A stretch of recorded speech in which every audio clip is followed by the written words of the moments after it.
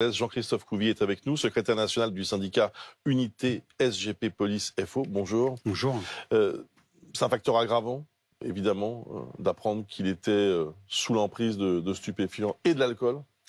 aggravant déjà matériellement et moralement, c'est-à-dire qu'à 7 heures du matin, quand vous en fait, c'est vrai qu'on fait une fixette sur ces trois fonctionnaires de police, mais ça aurait pu être vous, ça aurait pu être moi, euh, n'importe quel parent qui emmenait ses enfants au sport, par exemple, au foot. Ou, et, là, bing, c'est un drame. Et c'est vrai que ça souligne encore une fois, je veux dire, euh, euh, cette dangerosité de personnes qui vivent, de certaines personnes qui vivent en dehors de la société et des règles, en fait. Moi, on appelle ça, moi, j'appelle ça des sociopathes. C'est-à-dire que euh, ils ne pensent qu'à eux, ils ne s'occupent pas du tout des règles, ils ont un parcours délinquant, parce que là, en fait, on, on, fait encore une fois aussi un focus sur le délit routier, mais en fait, quand on regarde un petit peu euh, son parcours, euh, c'est quelqu'un qui est déjà connu de la justice, donc en fait, qui ne s'arrête pas, euh, et, et, et, on se voit et on voit que la société de, de, gens qui respectent les règles est en danger par rapport à des personnes qui ne respectent du, pas du tout ces règles, qui s'en qui s'en affranchissent quelque part. Et donc ce drame-là, il doit souligner ça aussi. Il y a quelques mois, on a parlé de Pierre Palmade. Ça rebondit un petit peu, ça, fait écho. Il euh, faut savoir qu'il y a 700 accidents, 700 morts causés par des accidents suite à de la drogue et, un mélange d'alcool par an. Ça fait deux par jour. Et à chaque fois, c'est autant de familles endeuillées, de vies brisées.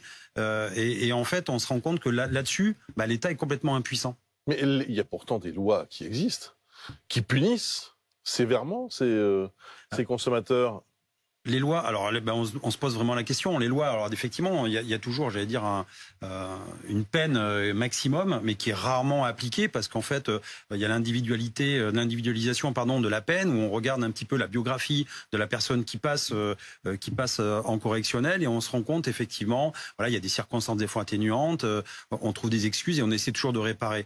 Sauf sauf que c'est, j'allais dire que ces informations qui sont données à la personne qui passe devant la justice, ils n'en tiennent pas compte pour, pour, pour souvent. Et donc on crée des lois. Bah, bah, regardez par exemple, quand vous regardez les, les parcours des délinquants euh, qui ont été condamnés plusieurs fois, à chaque fois on trouve un petit peu, alors pas une excuse, mais on essaie d'aménager les peines. Et pour eux, en fait, la sanction, elle tombe jamais vraiment. Et donc ils n'arrivent pas non plus à savoir jusqu'où ils peuvent aller et ils cherchent des limites. Et, et ils vivent en, en j'allais dire en marge de cette société. Et donc les lois quelque part que vous, vous respectez parce que vous, vous avez peur de la loi. Si vous perdez 6 points ou 12 points, vous savez que votre vie, elle va changer, donc vous faites attention. Mais des personnes qui, pour eux, de toute façon, j'allais dire nos futurs, et la loi peut être la plus dure possible, de toute façon, ils s'en fichent complètement. Et c'est là-dessus qu'il faut travailler. C'est-à-dire, c'est en amont sur l'éducation et de savoir comment des enfants, euh, parce que 24 ans, pour moi, c'est des gamins. Mmh. Euh, les policiers, y compris euh, les, les, les auteurs, euh, ce sont des gamins, 24 ans. Comment on arrive là et comment, 24 ans, on arrive à un parcours mmh. et à la fin, ça se termine en drame. Enfin, il le paye de sa vie. Hein. Il a été tué sur le coup, effectivement. Il a été tué dans cette. Euh, oui. Mais, dans cette alors. C'est la, hein, mais c'est s'il y avait que lui, lourde qui pouvait. Voilà, s'il y avait que lui quelque part, bah, c'est le karma.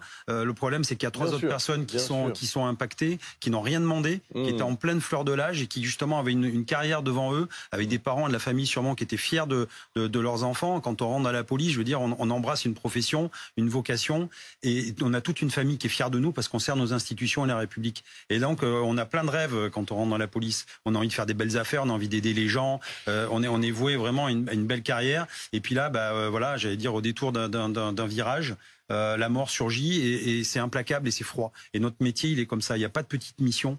On sait que des fois on le répète même aux jeunes qui rentrent dans la police en disant attention, soyez toujours sur vos gardes parce que des fois on se relâche. Alors là ils pouvaient rien faire, mais je veux dire même si on va sur une petite mission anodine, euh, sur une palpation de sécurité, quand on interpelle quelqu'un, on veut fouiller, eh bien c'est pour ça aussi qu'il faut toujours être sur nos gardes parce qu'on sait pas qui on est en face de lui. D'accord, on est dans un moment de recueil, de peine. Euh, je veux dire on a des familles qui sont qui sont vraiment meurtries et effectivement on se rend compte que le, le certains politiques ont des ont des réflexes euh, automatiques et tout de suite de faire de la récupération et d'envoyer de, des, enfin, des, des contrefeux quelque part et de repartir sur d'autres bases. Moi, je préfère effectivement que les hommes politiques prennent ce recul nécessaire de la hauteur. Euh, quelque part, ils ont été élus par le peuple pour justement prendre des décisions euh, et, et, et, je veux dire donner des lignes politiques pour pour un pour un pays. Moi, je préfère qu'on travaille sur justement éviter qu'il y ait un accident comme ça qui arrive demain, après-demain et tous les jours, et qu'on trouve des solutions et que tous les partis politiques se retournent derrière, fassent concorde en disant ça suffit, on a une société euh, qui, qui, qui part euh,